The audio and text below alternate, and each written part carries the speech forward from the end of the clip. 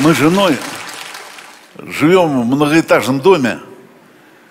И дом вроде приличный, но, ты знаешь, такое ощущение, что все соседи идиоты. Вот как я среди них один нормально живу. Вот, не, ну ты хихи, а соседка попросила, говорит, посиди с дочкой, мне надо там, ну, в магазин. Ну, я что, мне, мне два пальца об, об асфальт. Не, серьезно, я пошел посидеть, значит, вот. Ну, мы весело провели время, играли с девчушкой в куку. Я в шкафу прятался и говорил ку-ку. Она меня находила, радости полные штаны. Вот. Нет, соседка вернулась, а я пошел домой.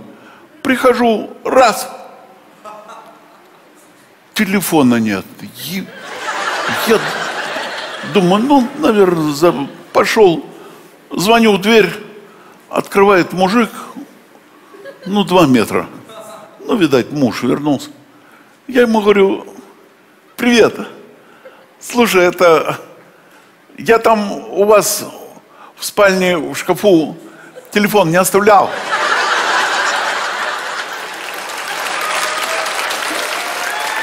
Он говорит,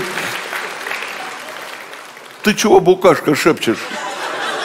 Я говорю, а, тебе ж дома не было. А, это жена твоя просила, мы в, в куку играли с моллюской. Знаешь, вот я договорить не успел. Два зуба, два. И так со мной постоянно. Семени бьют. Вот у меня жена очень любит песню эту вот «Д- д- «Давай до свидания». Ну что, у нас небольшое событие там дома. Накрыли вечером, а я при- перед этим на радио договорился. Вот, ну, как положено. И ровно в 9 сидим за столом, я врубаю, и диктор говорит, у Елены и у Василия Куземкиных сегодня небольшой праздник. День свадьбы. 25 лет совместной жизни. И любящий муж дарит жене песню «Давай до свидания».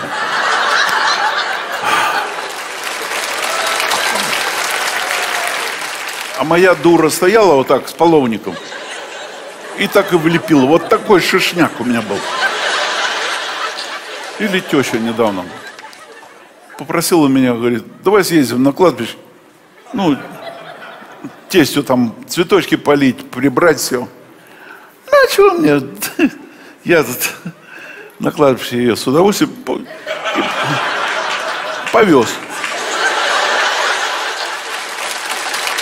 Еду, ее, видать, качнуло немного, она заснула. Инспектор останавливает, говорит, куда мчимся, нарушаем? А? Я говорю, тещу на кладбище везу. Он глянул, она вот так лежит. Он говорит, что ж, так не по-людски, последний путь. Я говорю, какой последний? Я ее раз в месяц вожу, она все время возвращается. Он говорит, зомби. Ну, тут теща проснулась, как заорет. Дураки! Я на кладбище опаздываю. Знаешь, лейтенант молодой, в обморок. Бах. Я его вышел по щекам. Бах, говорю, «А- очнись, лейтенант. Отпусти меня еще за цветами заезжать. Я его по щекам, ну, ладошкой. А Он очнулся, и мне кулаком бах. Да не, на не идиоты вокруг я. Вот у нас на работе. Собрали деньги у этой, у начальницы нашей день рождения. Ну, скинулись, купили ей шапку из песца. Нет, ну, шапка приличная. Вот. И говорят, Васька, ты, говорит, смешной, зайди первый, поздравь, чтобы, Ну, с шуткой.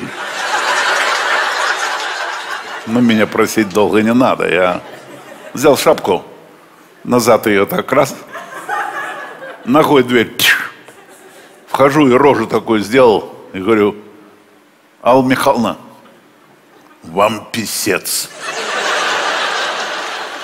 Ну откуда я знал, она из налоговой ждала комиссию?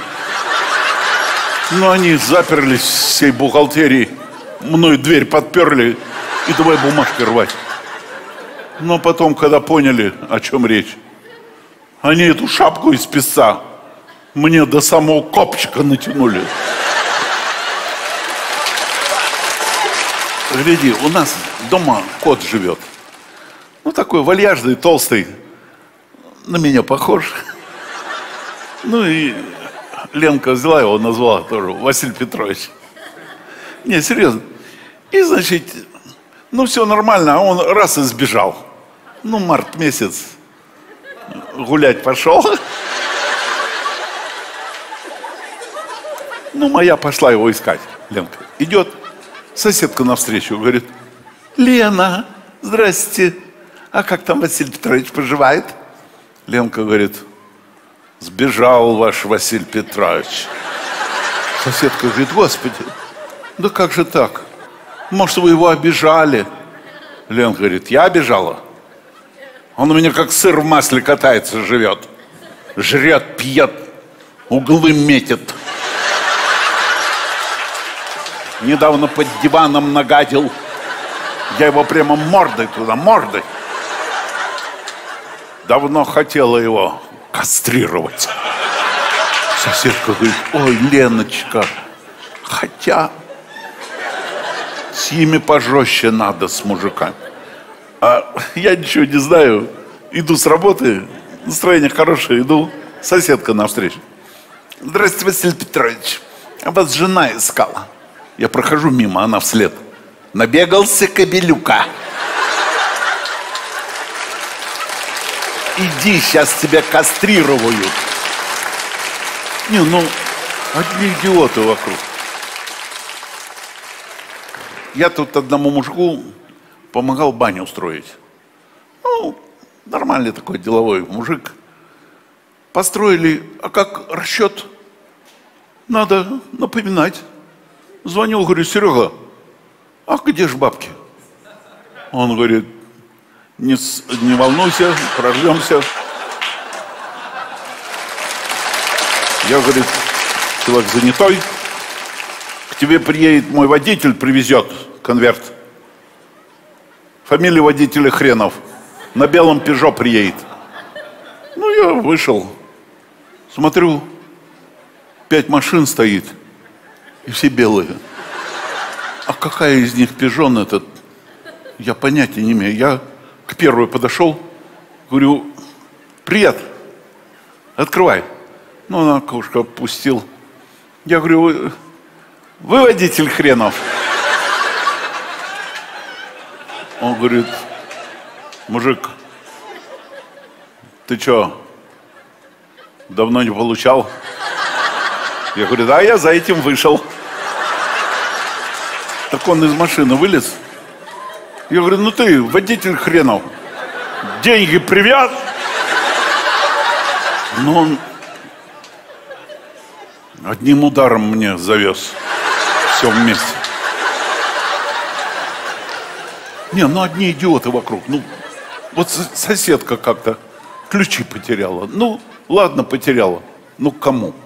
Васечка, можешь перелезть, балкон рядом, все. Но мне-то два пальца обоссать.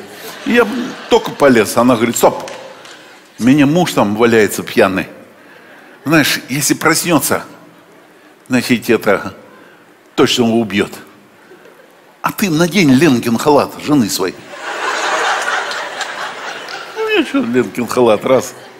И перелез, и иду, уже к дверям подхожу. А этот проснулся, гад.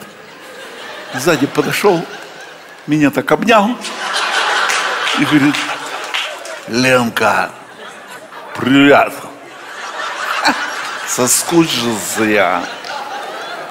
А твой Дурила опять на работе. Ну, тут меня знать надо. Я вот так. Я! Хулю! Хулю! Хулю! А! Говорю, на какой работе сегодня выходной? Ну, я такой резкий. Ну, он тоже упал. Да мужик слабый сейчас пошел. Знаешь? А, еще. В подъезде у нас беда. Стояк засорился, и ходит комиссия из ЖК. Вот. А я ничего не знаю. Я сижу, телек смотрю. Вдруг, бах, звонок в дверь. Открываю, женщина с сумочкой вот так стоит. Мужчина, ваш стояк посмотреть можно? Я говорю, женщина, извините, что даже имени не спросите. Вот так приспичило. Она говорит, мне пофиг ваше имя. Я хожу по квартирам, у всех стояки проверяю. Записываю жалобы. Я говорю, а как там у других? Она говорит, полный упадок системы.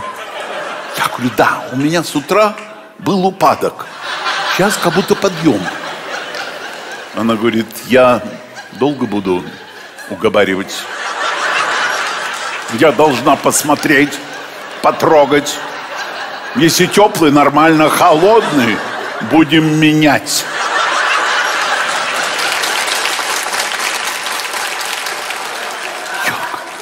Женщина, вы же...